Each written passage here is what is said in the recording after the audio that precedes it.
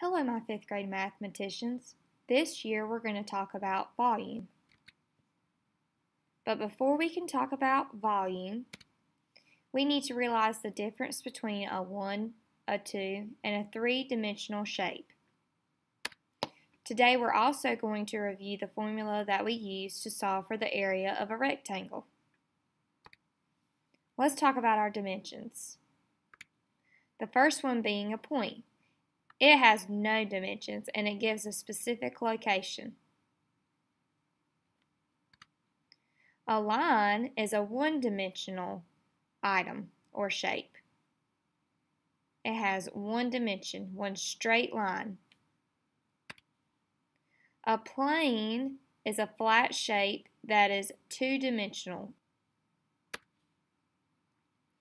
A solid figure is a three-dimensional shape it usually pops out at you.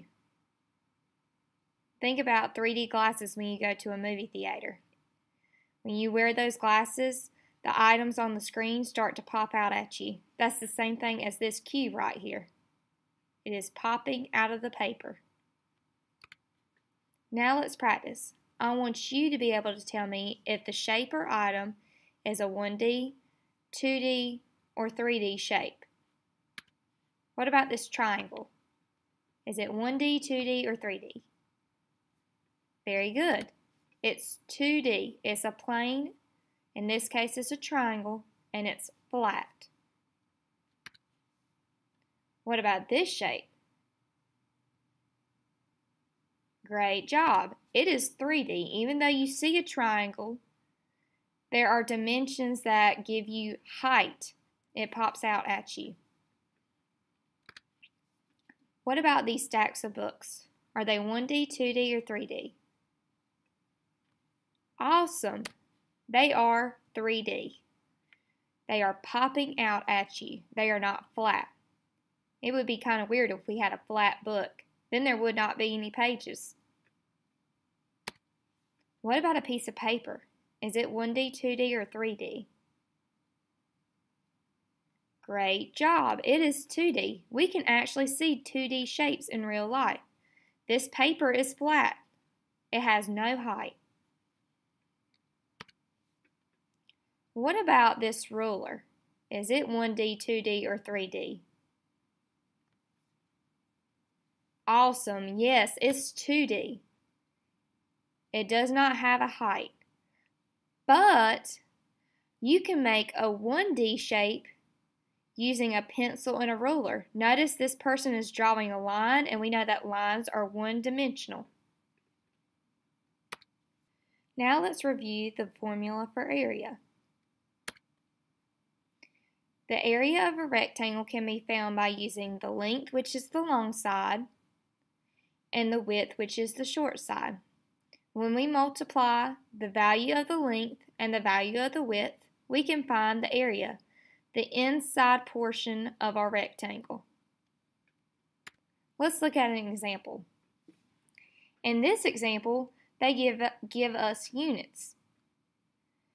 If I count the units on my long side, I should have seven units that make up my length. When I look at my width, I count one, two, three, four units. So this rectangle is four units wide and 7 units long. Each unit has a length and a width of 1 centimeter. We have 1 centimeter, 1 centimeter, 1 centimeter, 1 centimeter. So this unit is considered a square. It has four equal sides, each equaling 1 centimeter. Now to find the area of this rectangle, I would take the length times the width, 7 times 4, and it will give me an area of 28. We cannot forget our units of measurement. In this case, they are measuring in centimeters.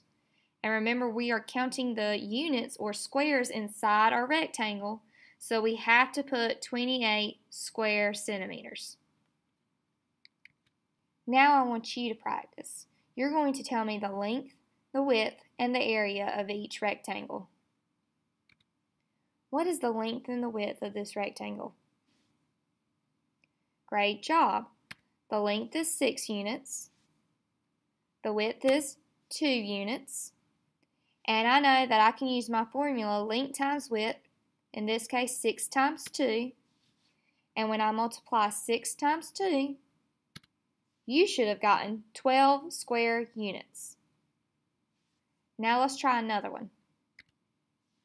What is the length, the width, and the area of this rectangle? Awesome. The length is 7 units. The width is 4 units. When you multiply 7 times 4, you should have gotten 28 square units.